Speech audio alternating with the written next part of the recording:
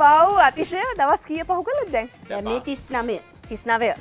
සිංහ බාහුව එන කාලෙ පොඩ්ඩක් දෙගිරියාවෙන් හිට හිටිය නේද? මේක දුවයිද නැද්ද? මොකද අපේ තිබ්බ එකත් එක නමුත් හැම්ම දේම කණපිට පෙරලා හිතාගන්න බැරි විදියට ෆිල්ම් හෝල්ස් පිරිලා අපි හදනකොට ඇත්තරම දැනගෙන හිටියා.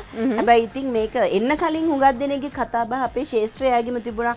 අයෝ ඒක දුවන්නෑ ඒක මෙහෙමයි මෙහෙමයි. කීක එක එක්කෙනා ඉතින් මොකද වෙනස් විදි කාව්‍ය කතා. හැබැයි ඉතින් ඒ වුණාට අපිට නම් ඉතින් ඒ ගැන ලොකු විශ්වාසයක් තිබුණා. මොකක් හරි හැමතිස්සෙම අලුත් අත්දැකීමක්නේ හැමෝම. මිනිස්සු හැටියට අපි ඇත්තටම කැමති අලුත් අත්දැකීමක්. නමුත් ඉතින් අපිව තක්සේරු කරා. ඉතින් දන්න කියන කට්ටිය ඕක හරියන්නේ නැහැ මෙහෙමයි මෙහෙමයි මෙහෙමයි කියලා. නමුත් ඉතින් අපි විශ්වාසයෙන් කරේ වැඩේ. අහෝ ඔබට කුමක් වියද දැන් බොක්ස් ඔෆිස් දැන් බොක්ස් ඔෆිස් ඒක චැලෙන්ජස් දෙකක් තිබුණා ඉරණි. එකක් තමයි අපි ඉතිහාසයේ පොඩි වෙනසක් කරනවානේ ඉතිහාසය ගැන අපිට කියලා දීලා තිබිච්ච එක ඒක එක වෙනසක්. අනිත් එක තමයි අපි කතා කරන භාෂා විලාසය. ඒකත් පොඩි කයියක් නේ. තියෙන්නේ.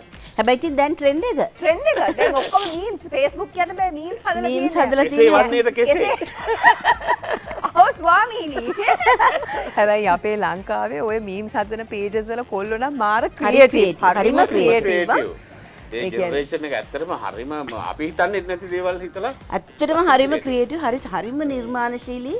අදහස් තියෙනවා දැක්කහම හිතා ගන්නවත් අපේ සිනමාවට ලොකු රුකුලක් ඔය මල්ලිලා ඔක ඉන්නවා නම් අපිව බලාගෙන Very much. තව ටිකක් වැඩි දියුණු තව වෙන්න ටිකක් ඔයගොල්ලෝගේ නිර්මාණ හැකියාව වැඩි දියුණු වේවා කියලා ප්‍රාර්ථනා කරනවා